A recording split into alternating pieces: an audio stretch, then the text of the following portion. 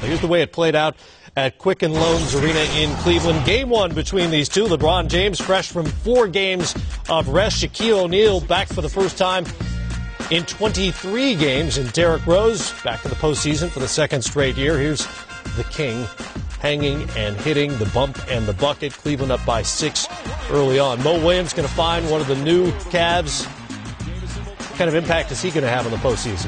I think big time. Inside, outside, his intensity on both ends of the floor, and he's showing it already in game one.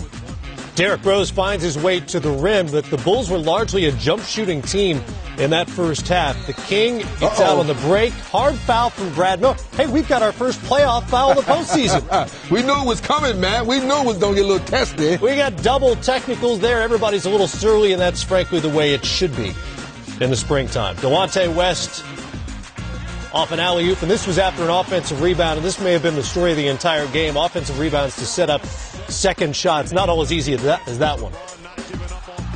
Yeah, I think that, that that's going to be the key. The, the, the, energy game the Bulls have to win, as you can see right here, because this guy is going to score in so many different ways. But the Bulls have to win in those loose balls, rebounds, and all those plays. Third quarter, Shaq. Oh. Noah's given up the diesel. hundred pounds to Shaq, at least. We're being nice. Yeah, the spin move on him, and then the Cavaliers out on the run. It's Antoine Jamison for the finish there. Cleveland up by 19, excuse me, 21 at that point.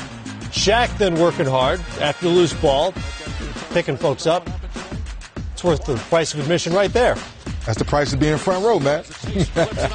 D Rose picking me up, then land on me. This is how the Bulls got back into the game in the third quarter. Derrick Rose finding his way to the rim.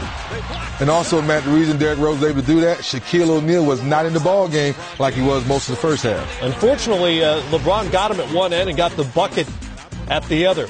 Anderson Varejao, no. But again, the Bulls take off, and when they were out running, they were effective. Yeah, you got to get stops, though. I mean, I think the Cavaliers won the low, and this play right here was a huge play when, when Mo Williams kind of hit a couple buckets to stop that run. Contact there, no call, and the Cavaliers out on the break. That. Oh. Cavaliers take a 1 0 lead in their first round series over the Bulls after a 13 point victory. No Cavalier took more than LeBron James 19 shots. That's how he got to his 24 points six rebounds, five assists, four blocks to boot, and a 1 0 series lead.